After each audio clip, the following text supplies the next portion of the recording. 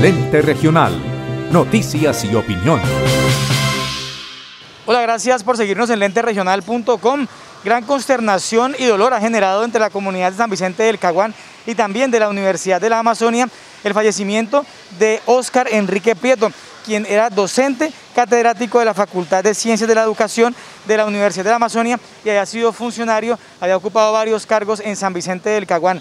Me acompaña Gerson Lugo, él es el asesor de paz de la gobernación y también compartió espacios con Óscar Enrique Prieto. Bienvenido al ente regional y cuál es el mensaje ante esta triste noticia del fallecimiento de Óscar Prieto.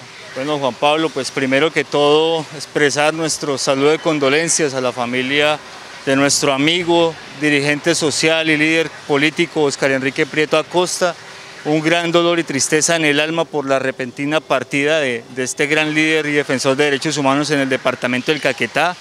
Oscar Prieto eh, fue socio fundador de la corporación Caguán Vive, fue su segundo presidente de la corporación con quien se abordó diferentes procesos sociales y organizativos en toda la región del Caguán en el departamento del, del Caquetá. Asimismo también Óscar Prieto eh, fue un destacado dirigente político que acompañó la administración municipal eh, del cambio esa hora en cabeza del exalcalde Domingo Emilio Pérez Cuellar, ocupando el cargo de secretario de gobierno, también fue eh, docente catedrático de la Universidad de la Amazonia, donde también lideraba diferentes procesos de reivindicaciones sociales, de luchas por la defensa de los derechos humanos en el departamento del Caquetá y en el Huila. ¿Él de dónde era? ¿Cuánto lleva San Vicente del Caguán?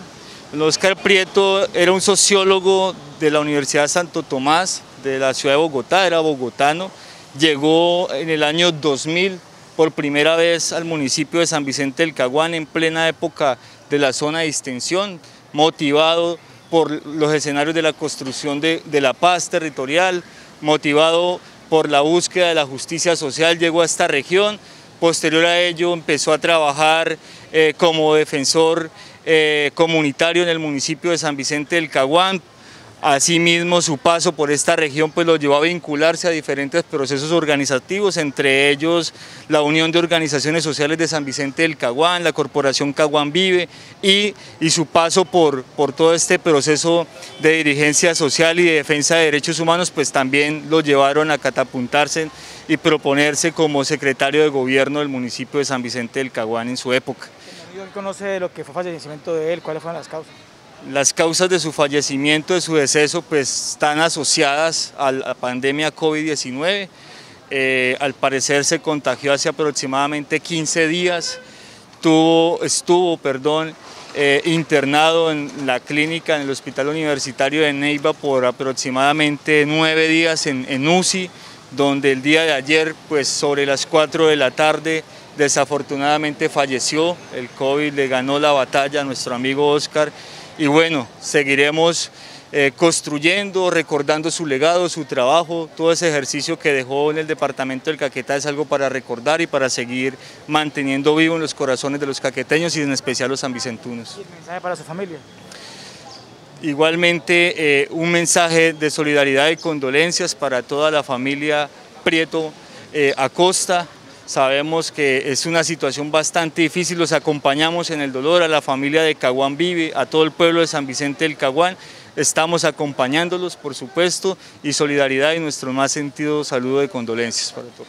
Muchas gracias a Gerson Lugo. Óscar Enrique Prieto fue un destacado líder social, como lo decía Gerson, y también un funcionario público que logró realizar varias acciones en beneficio de las comunidades, principalmente San Vicente del Caguán, y también se destacó como catedrático de la Universidad de la Amazonia, donde le han enviado también un mensaje de condolencia a sus familiares. Desafortunadamente, el COVID-19 le ganó la batalla. Con la cámara de John Freddy Hernández, soy Juan Pablo Sánchez informando para Lente Regional Noticias y Opinión. Eres único. Toto también. Encuentra en nuestras tiendas Florencia. Morrales, tulas, maletas de viaje, calzado y ropa para toda la familia, ropa y equipo deportivo. Toto Centro, carrera 12, número 1423, Parque Principal, Centro Comercial Gran Plaza, segundo piso, local 206-207.